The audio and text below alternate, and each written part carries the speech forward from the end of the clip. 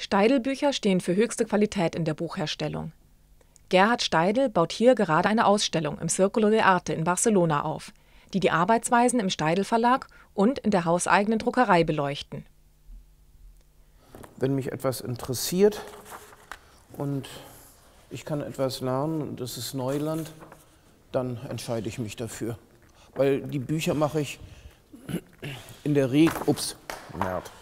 Die Bücher mache ich ja in der Regel immer nur für den Künstler und für mich. Und dann, ob sich das später verkauft und ob jemand daran interessiert ist, das ist eine ganz andere Sache. Das ist sekundär.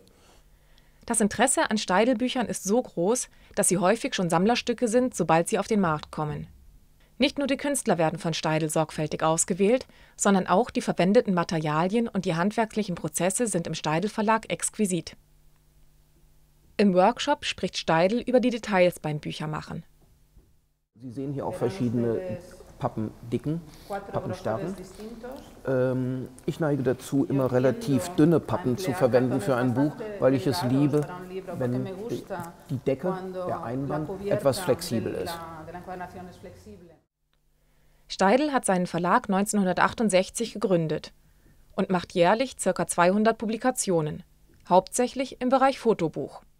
Ich habe letztlich ein Buch gedruckt äh, von Robert Frank mit seinen frühen äh, Fotos, die er 1946 in Spanien, in Valencia gemacht hat.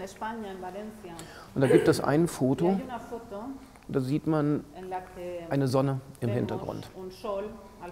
Und ich habe das Foto gedruckt und habe ihn gefragt, ist die Sonne am Morgen oder ist das die Sonne am Abend? Und dann hat er mir gesagt, es ist eine Morgensonne. Und dann habe ich das Foto relativ leicht interpretiert, habe ihm Andrucke gezeigt. Und als ich da war bei ihm, dann guckt er das Foto an und sagt, also wenn ich mich richtig erinnere, es war doch abends gewesen. Es ist eine Abendsonne. Dann bin ich wieder zurückgegangen und habe eine Abendsonne gedruckt. Und Sie können in dem Buch, das liegt drüben auf dem Tisch, können sich dann ansehen, wie es tatsächlich aussieht. Und so muss man sagen, das ist spannend, nicht? wenn man halt mit dem Fotografen, mit dem Künstler zusammen im Buch die Idee entwickelt. Wie lange an einem Buch gearbeitet wird, ist unterschiedlich. Es kann ein paar Wochen bis hin zu Jahren dauern. Bis jedes Detail stimmt und Steidl und der Künstler zufrieden sind. Beim Vortrag im Goethe-Institut Barcelona führte Steidl auch noch in einen häufig unerwähnten Aspekt des Buchdrucks ein. Meine Lieblingsbeschäftigung ist, einen schönen Geruch zu entwickeln. Das ist fast äh, eine Arbeit wie bei einem Parfümeur, äh, denn wenn man das entsprechende Wissen hat, welche Drucköle und welche Druckfarben und welche Pigmente auf welchem Papier wie reagieren, kann man tatsächlich Düfte erzeugen.